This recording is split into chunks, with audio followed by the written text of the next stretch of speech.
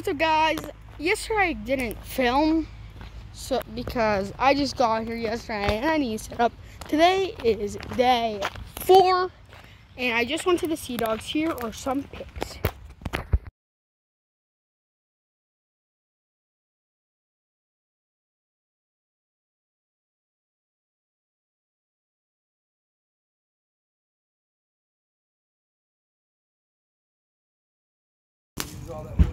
Which one? This guy over here?